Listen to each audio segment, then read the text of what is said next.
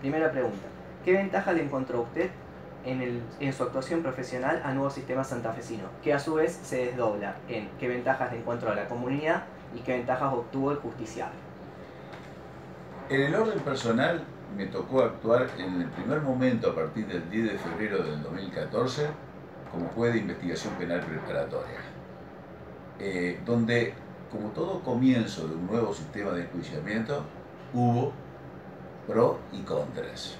Eh, como uno era optimista y era lo que tanto habíamos luchado eh, durante varias décadas en que Santa Fe tenga un eh, código de acuerdo a la Constitución Nacional, eh, que, esté conforme a, lo que la Constitución de, 1994 reformada, los principios que la inspiraron pedían un juicio de tipo acusatorio.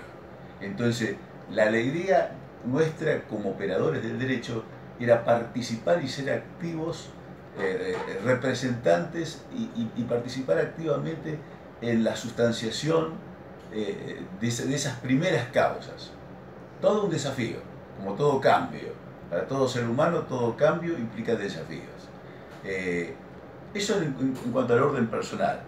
En cuanto a la comunidad, creo que representó una eh, simplificación de los trámites y abrir las puertas a la sociedad a un nuevo sistema de enjuiciamiento penal, más transparente, más claro, más sencillo, más de acuerdo a, lo que la gente puede interpretar eh, y ver cómo se administra justicia.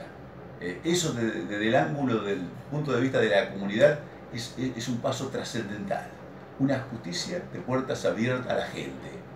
Eh, e, es un paso trascendental porque la gente ve cómo los jueces administran justicia, cómo los fiscales llevan adelante la persecución de los delitos, cómo los defensores garantizan a los imputados eh, eh, eh, las garantías constitucionales que están expresadas no solamente en nuestras leyes, en nuestra Constitución Nacional, sino también en los pactos internacionales a los cuales nos hemos adherido y, los cuales son directamente operativos. En cuanto al justiciable, le brinda siempre mayores garantías la, garantía de, tener eh, la presencia de un juez. El viejo sistema implicaba un, un empleado, un sumariante, era un